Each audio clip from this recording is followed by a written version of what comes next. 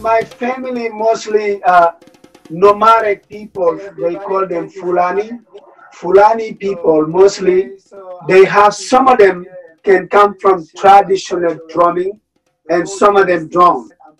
My part of my family, no one drummed before.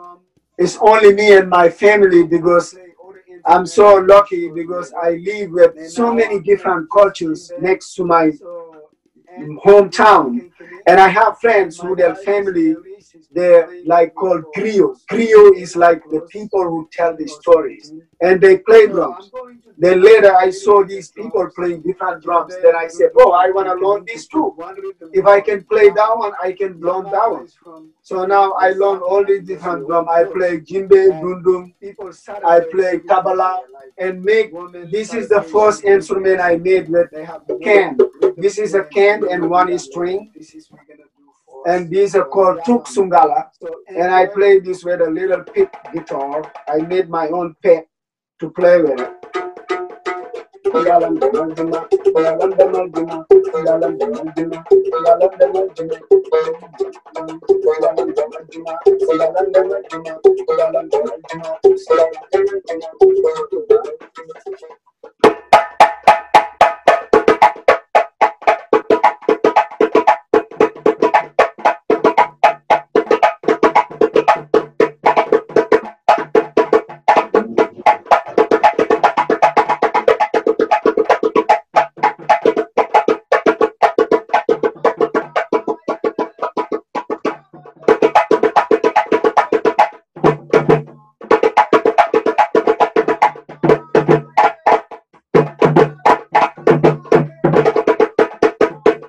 Thank